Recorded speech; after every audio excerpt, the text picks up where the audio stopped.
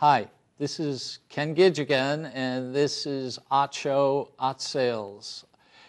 I am a believer since all sorts of monies have been taken away from the arts. Us here at Access Nashua, myself, and a lot of other people are going to be doing these shows, Art Show, Art Sales.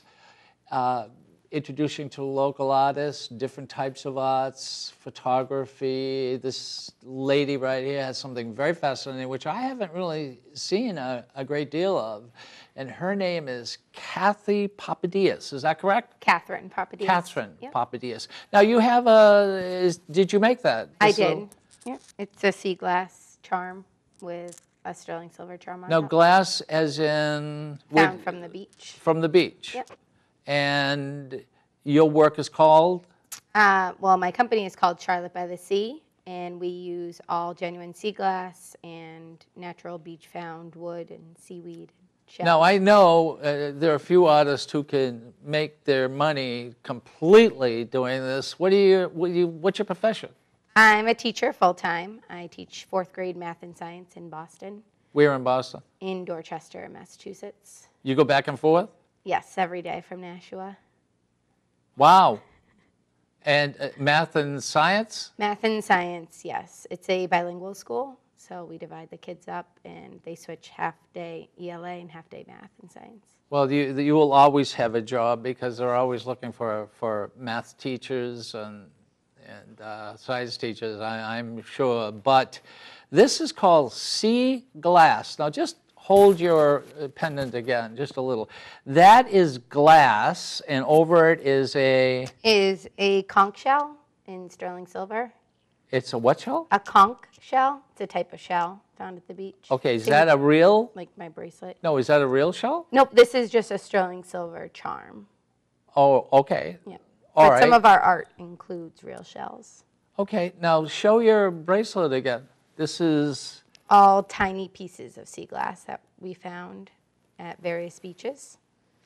And then put on wow, that's really fascinating. So uh, obviously, every single every single piece is original. Obviously. Uh, every piece is original and different. There's not one that's the same. I Now, uh, have you taken this? Do you you you get this stone? and you polish it or? nope. These are when you pick them out of the water or find them on the sand. Some pieces are very rough. Some pieces are very smooth.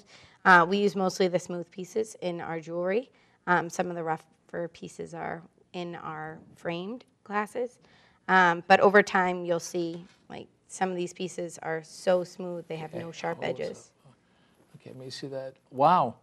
So you don't sand, you don't uh, polish these, or Genuine from the beach. this is they come original, Yep, this is freshwater pearls with the sea glass, and these are some very rare colors. and does your husband do the drilling? he does, yes. That's the part that he takes part in.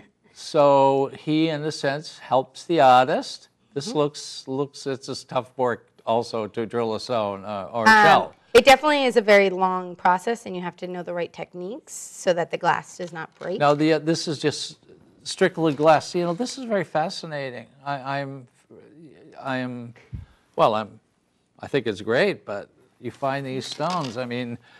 So you go to obviously a lot of beaches, and uh, oh, put. Uh, can you hold that one up? But yes, definitely.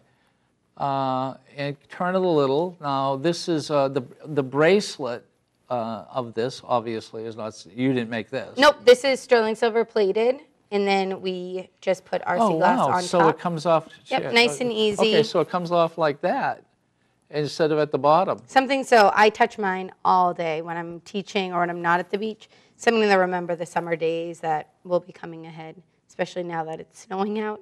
You know, these Well, are nice to wear and just continually Some feel them. people believe that stone, uh, some stones have good luck and put a good aura over you, and uh, these are stones that I'm, I don't know, millions of years old, I guess.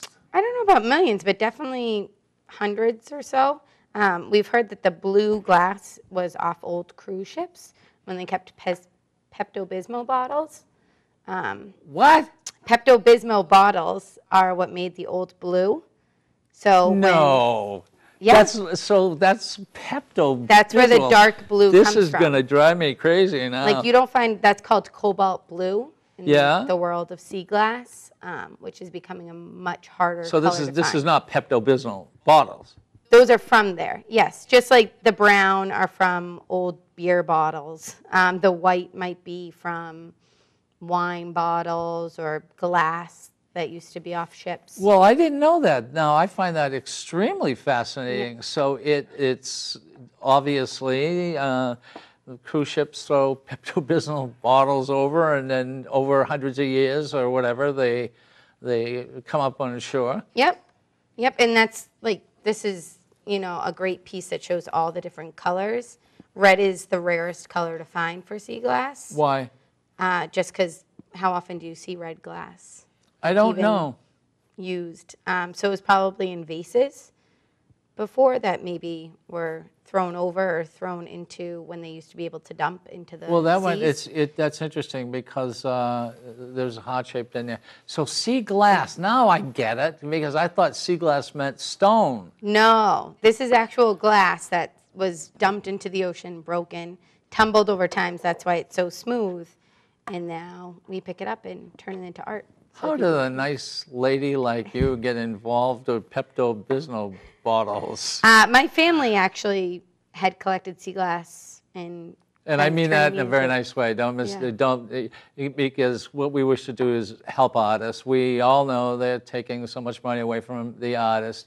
This is very unique. Thank you. So it's sea glass. I thought, honestly, I thought these were stones. No, this is actual glass. Like you might be looking at this piece, and this could be out of a bottle that was dumped into the ocean 50 years ago or more. Would it would it be Like these brown glass is probably from old beer bottles. beer bottles? Beer bottles, the brown.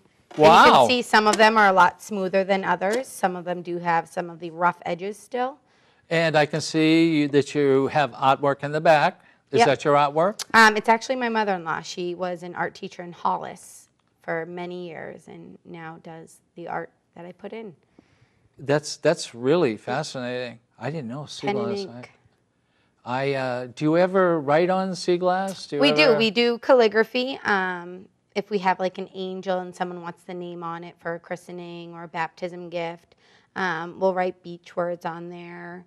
Um, we do hearts for anniversaries and we'll write the names in them as well. Can personalize any gift. Hearts like groups of sea glass. Yep. Yeah. I don't have one out on the table, but like we formed this one into the circle, we can form sea glass into hearts. Yeah, and right in the middle there is a design. Yep. And in the middle, we sometimes will use shells. Like this is um, another popular piece where we've used shells and sea glass to make a turtle. Yeah, there's your turtle, and there's the shell, obviously, and the green glass would be from where? What? I don't know, wine bottles, vases, a little now, bit of everything. Are there many people who do this type of work? Uh, there's a lot of people who pick up sea glass. I honestly have not seen other people put it into frames. And when we go to craft fairs and sell to local gift shops, they are surprised and just think it's wonderful. Because a lot of people do collect sea glass and put it into vases, but then don't know what to do with it. They kind of just have it displayed in a small container. Um, where this way we kind of bring it back to life and people can enjoy looking at it, seeing it in a different way. Now, how did you get involved with this? Um, so, like This I is really original, by the way, uh, if anyone wants to know. I mean, you're going to have to see this, and Richard will be putting up uh, uh, always pictures of this. Uh, This is really important work. This is very original. Not only are they placed in a in a specific way, which means that is an art, but finding the glass to do that and putting it in such a way, this is very, very unique. I have not seen work like this, and I do hope that people, wherever you are, and they see you, you make sure you explain. Pepto-Bismol bottle, I like that one. That's, uh, it used to be a blue bottle. uh, you know, wine bottles, etc. I never thought. I thought, probably a lot of people will think, unless you tell them, that this is stone. yeah. We actually started putting it in frames. We started the jewelry and had a jewelry line for a while. Um, Let's see, this is your jewelry line as you Yep, and we showed do earrings, necklaces, bracelets. We can do custom orders if people bring in their sea glass to us. We can make um, certain designs with it. But we found that the most common sea glass is the white sea glass, um, which comes from most glasses, bottles. Um, and we had a lot left over, and then one day we decided, hey, let's see what else we can do with it. So we put it in a frame, and these seagulls, or some people call them sandpipers, have been the biggest seller. We put natural wood with it and seaweed as well. Um, and people just love the little faces on them, um, how each one is so different. This is another one with three that looks completely different. Three different pieces, um, seaweed. And if if people Beachwood. will look, this is all from the sea. Mm-hmm. Every bit of it, except those The eyes and the hand drawn. birds up there. uh, We were using beach rocks for the eyes, but we found with people traveling, if they brought this frame home to a different location, The eyes we didn't would want it fall to break within the glass because it's within a frame. So now we draw on the eyes. Yeah, you don't But want- you don't want I almost birds feel with- like each one, each bird looks a little different because of how Okay. the marker goes onto it. Um, now, you, I guess you travel around to find sea glass. You were married in York, Maine. Is this We correct? were, yep, we were married. Okay, so is that where you find most of the glass, or is this where you look for it? We go up to York um, every chance we get to find the sea glass and also to stock up on the extra beach wood. Um, we also will go down to the Jersey Shore just because that's where I summered when I was a child. Um, What, is there any particular place where you'll find more, let's say, of white or blue? can't give away my secrets. I wouldn't have any to make. Oh, I see. I didn't know. Yes, but it, I'm telling you, sea glass is definitely becoming harder to find, um, and you're finding a lot more of these smaller pieces instead of finding some of the large ones. So when you find a large one or a colored one, which is blues, greens, reds, aquas, you definitely want to keep them and make them into a very special piece. So it's harder to find. And uh, is that because more people are doing it, or are they just depleting? I think less people are dumping into the waters because of pollution, which is a good thing, but a bad thing for my company. So in other words, this, this type of work uh, will have a potential lifespan. So if anybody buys a piece, this is kind of like historic too. Um, I don't think they'll see it as much. Um, we've been buying a lot of personal lots um, so that we can continually get in the pieces that we You need. buy sea glass from other people? Yep. So if somebody, So you know, in has other been- words, if you go to the internet, you can buy sea glass? Um, I don't think you can do it on the internet. You know, just word of mouth, or if we're in a store and someone will see ours, they'll be like, oh, "I have so much of this color. Would you want it?" Or they want to see their pieces go into something because they do. They just keep it in frames or have it around their house, but they don't know what else to do with it. Where this actually, you know, something you can put up on People your do come to you and ask you to do particular types of work? Yep. They bring us in their pieces. If they have a nice piece like the red heart that was in one, um, is something that as a collector of sea glass, that's like a very valuable piece that you'd want to see up on your walls. Just Well, I'm, an, a I'm an artist myself. I do different types of work than this. Uh, I do abstract work. But there's one thing about artists, and I think uh, people, especially artists, must remember that everything has a story. And I've done photographers and, and other types of artists, and they all have stories. And I think that this is really important. Uh, and uh, uh, I, I am, I'm not, I'm certainly not speechless, that's for sure. I mean, I'll always have words, but this is a very, very original uh, type of work. Do you make larger? This is probably, An 8 by 10 is probably our largest. Um, we do do some larger ones, like an 11 by 17, um, but those take a lot more sea glass and do cost um, a little bit more. Um, but it really depends on how many pieces of sea glass are in there, what colors are in there, what the background is going to be, um, because each piece is so different. now Richard Gagnon, uh, uh, the producer of the show and, uh, you know, god of Access Nashua, uh, he saw your work at the YMCA. So you were showing at a craft fair at the YMCA. Yeah, I actually just started doing craft fairs this season um, and got into it a little last minute. But yeah, he came around to the table at a very busy time, which was nice. And we've had a great response. People just stand at our table and can't decide between pieces because each one's so different. Even if they're holding two seagull pieces, they're like, this face looks so cute, but these ones look like they're talking to each other. So hearing their comments has been great. So you're making a living or a partial living yeah, we it. also do wholesale up in Maine to a lot of gift shops. So that's been nice as well.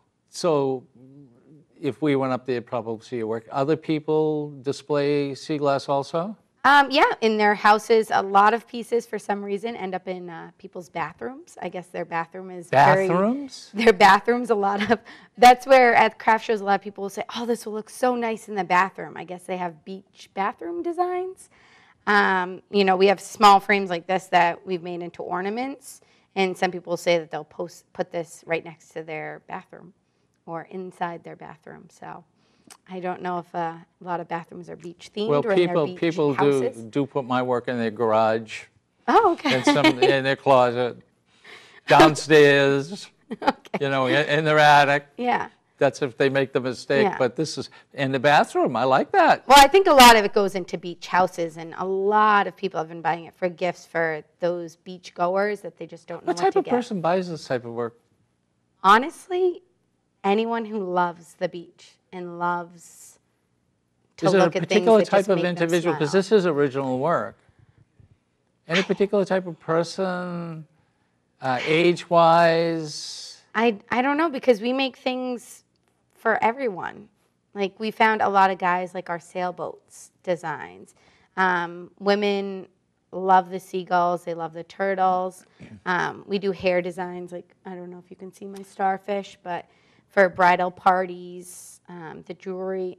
Okay, turn your head again. Okay, so that did you find that or did you purchase that? Um, this is a sea star that we purchased. It's a sugar starfish um, that we purchased. We did not find this one, but we find most of them. The small ones are really hard to okay, find. Okay, so you also put a little pin in it. So Yep. And we do different, um, like bobby pins, hair barrettes, a little bit of everything. Like, if you want to wear something from the beach, we do it. If you want to look at something from the beach, we will make it. can you hold that one up, please? Yes. That's that's uh, very very.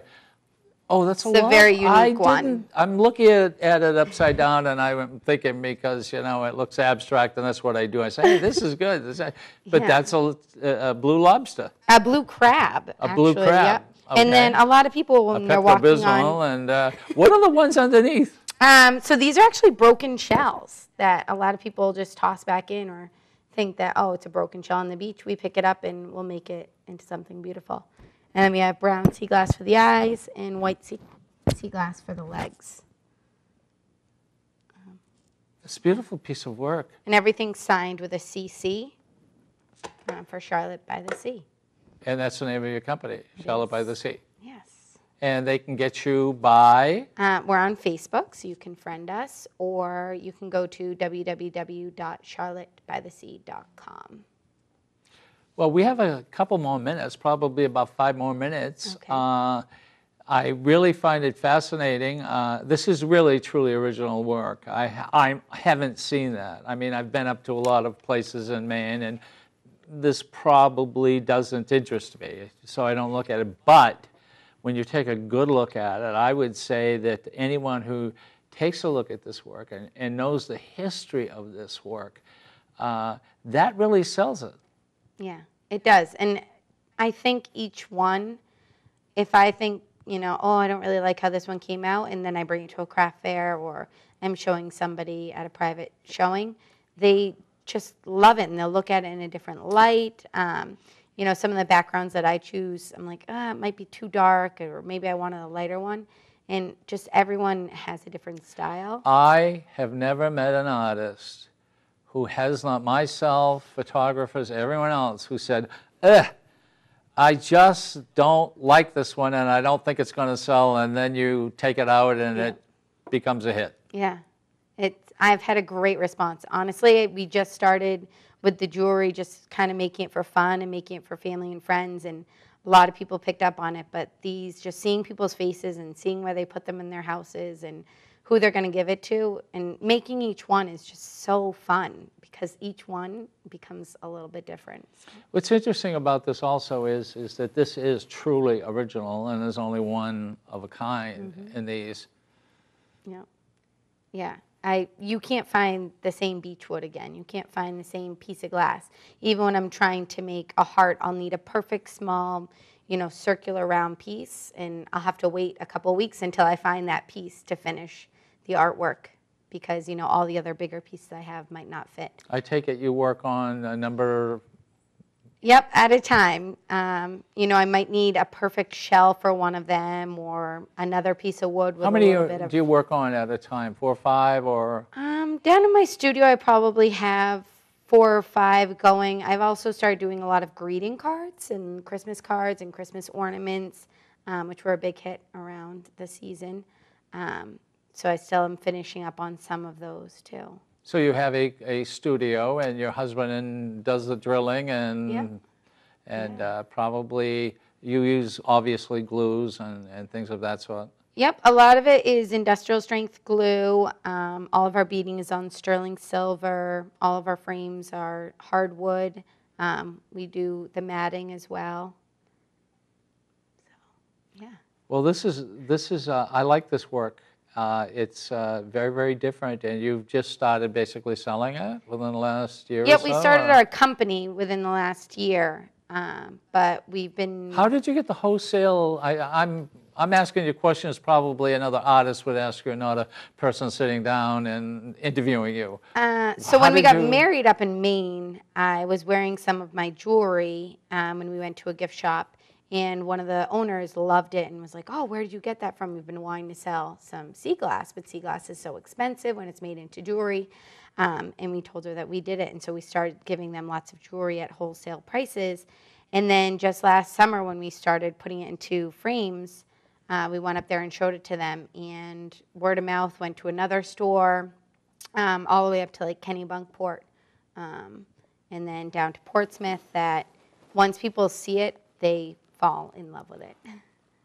So Well, it's, uh, it, there are plenty of art forms. Uh, this to me is, as I've you know repeated myself a number of times, is extremely original, and I certainly can see uh, the reasons why. Uh, and, and it's just not the glass. It's obviously the way it's uh, the designs because this is in a, in a sense abstract. Uh, this one right here is is pretty abstract, I would say. pineapple. Yeah. That's a pineapple. Yep. Okay. I thought it was something else. But Oh. uh, see, people see. Well, and this, uh, my point is, is, is that it's just not you get the glass and you just put it down anywhere. You've got to, and this one, let's, I'm going to show this one one more time. I think this one is, is something that's quite unique. Yep. And These that's, seagull ones are probably the biggest seller and the ones that people love to give as gifts or keep for themselves. really? Yep.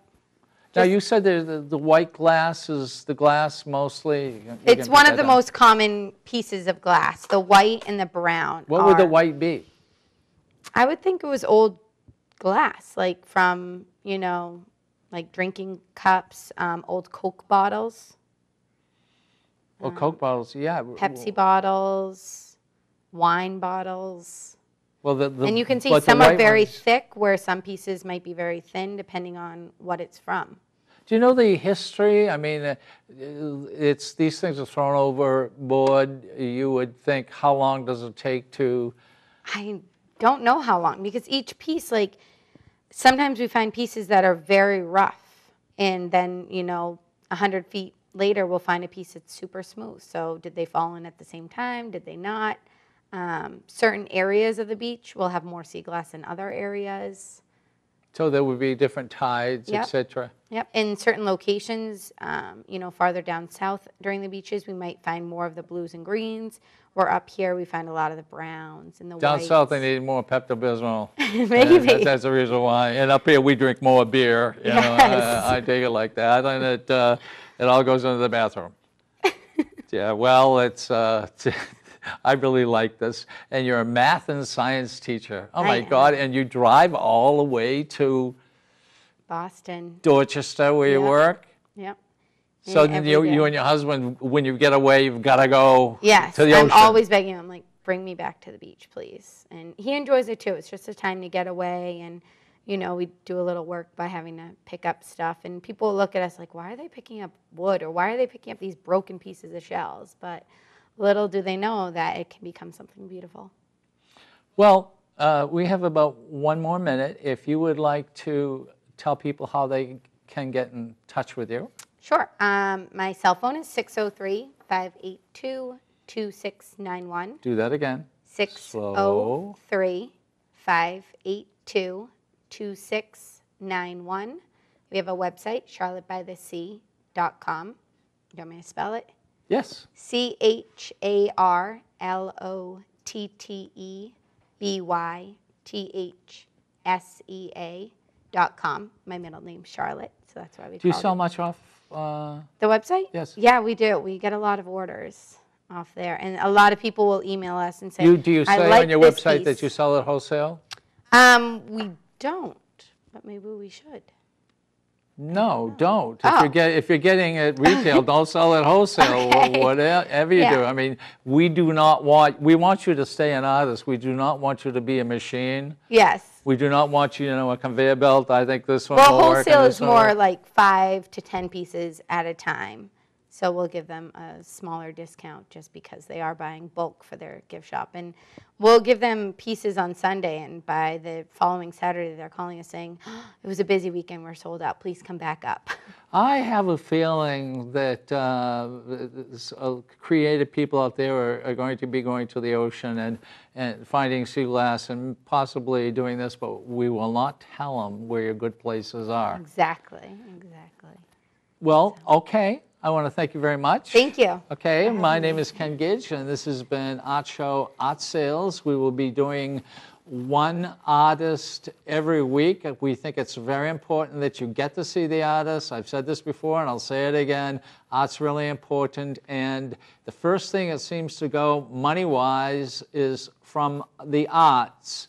And uh, I believe, and, and uh, if a community bought original art, and this is this art is actually very, uh, very fair in price. And if you bought an original piece of art and you hung it in your house, if we could get 25% of any community to do that, we would become an art mecca.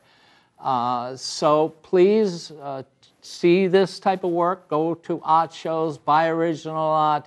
Let's uh, help everyone out. And art is very, very important. But most of her work goes in the bathroom, which I don't understand. But no, this is really, again, thank you very much. This has been Ken Gidge, and this has been Art Show, Art Sales.